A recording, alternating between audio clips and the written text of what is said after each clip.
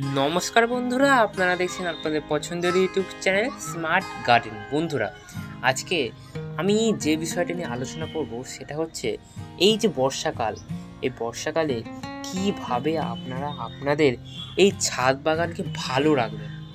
হ্যাঁ কীভাবে ছাদ বাগানকে ভালো রাখতে হবে এই বর্ষাকালে? কারণ এই বর্ষাকালেই কিন্তু ছাদ বাগানকে নষ্ট করে, নোংরা করে অনেক কিছু হয়। তাই ভিডিওটি সম্পূর্ণ এবার শুরু করছি, আর বেশি কথা না বলে। প্রথম, ছাদ বাগানকে ভালো রাখতে হলে প্রথম যে কাজটা করতে হবে, ছাদকে পরিষ্কার রাখতে হবে।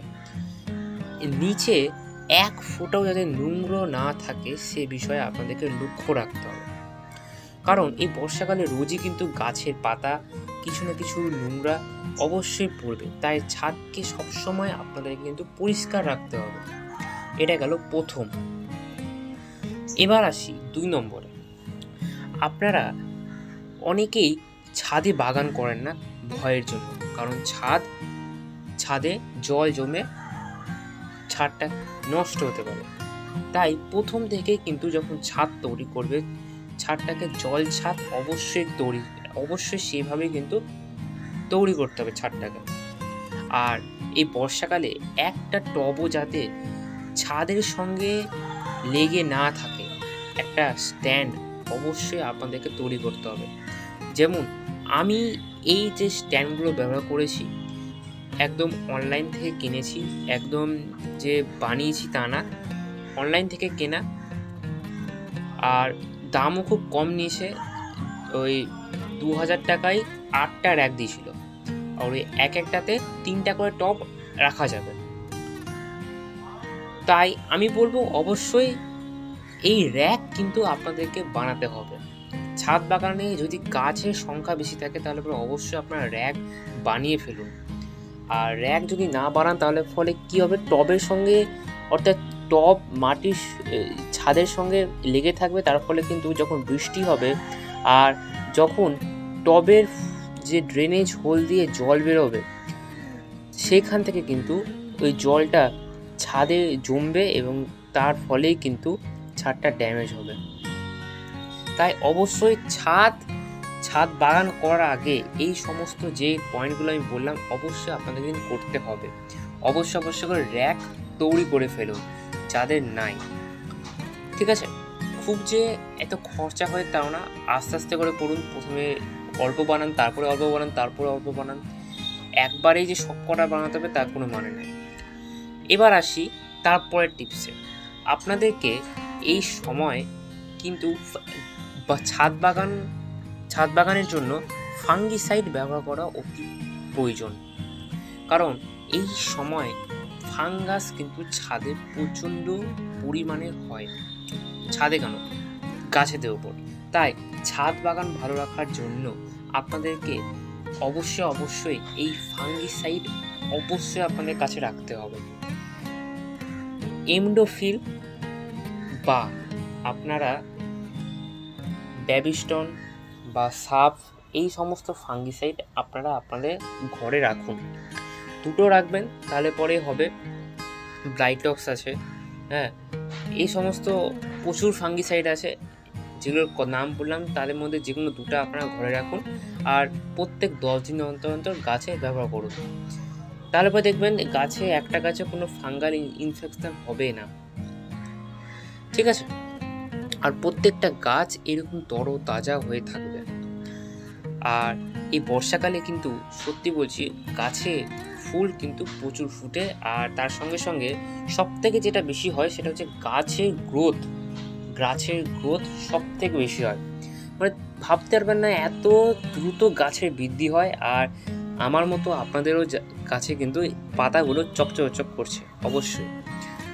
কারণ এই সময় আমি বলছি সমস্ত গাছকে বৃষ্টির জলে রাখুন।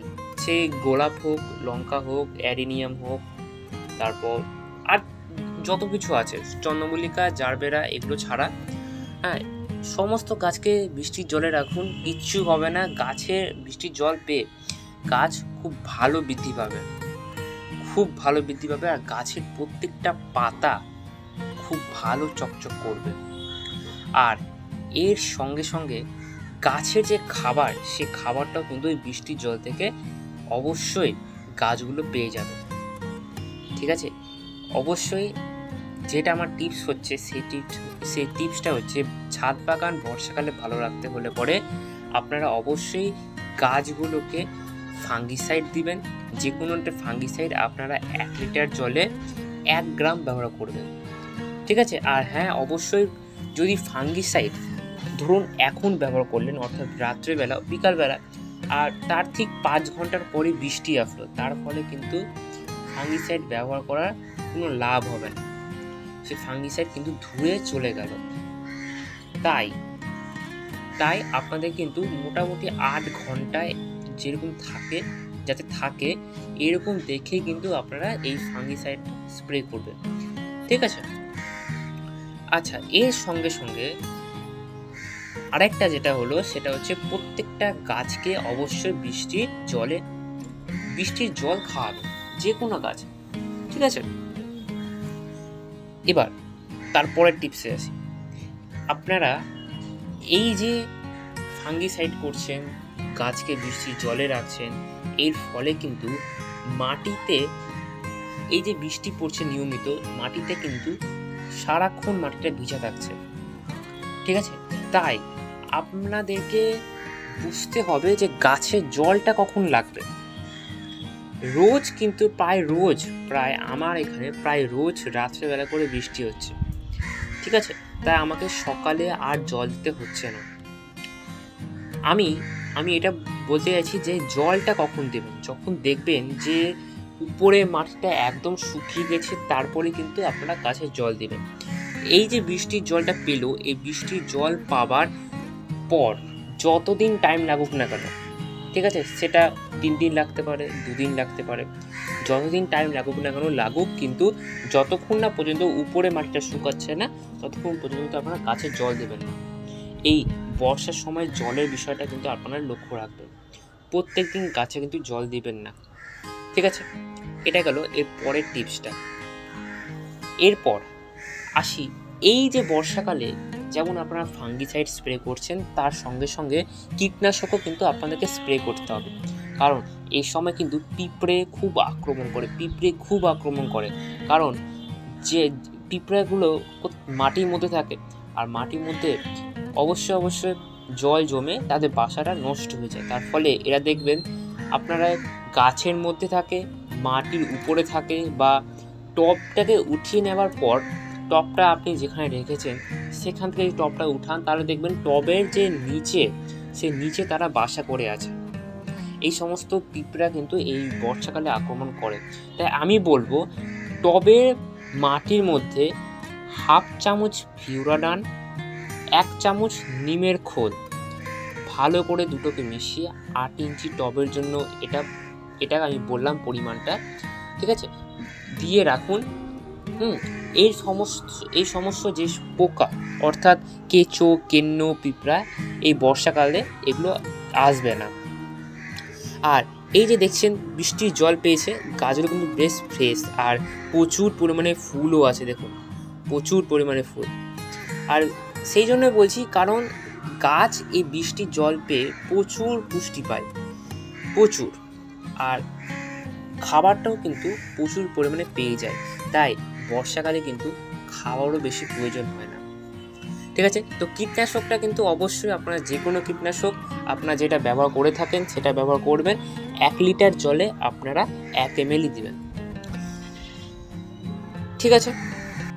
এরপর আমি চলে যাই হচ্ছে লাস্ট টিপস সেটা হচ্ছে গাছের খাবার। আপনারা এই বর্ষাকালে শুধুমাত্র একটা মিশ্র সার দিয়ে রাখুন, আর কিছু করার দরকার নেই। গাছ এই থেকেই খাবার পেয়ে যাবে। তাছাড়া বৃষ্টির জল তো আছে ব্যাস, আর কিছু করার প্রয়োজন নেই। ছাদ বাগান ভালো রাখতে হলে এই কয়টা টিপস ফলো করবেন বর্ষাকালে, তাহলে ছাদ বাগান অবশ্যই আপনাদের ভালো থাকবে।